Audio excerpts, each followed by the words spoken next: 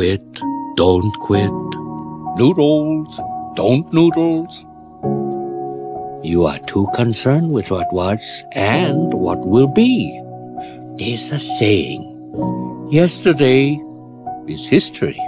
Tomorrow is a mystery, but today is a gift. That is why it is called the present.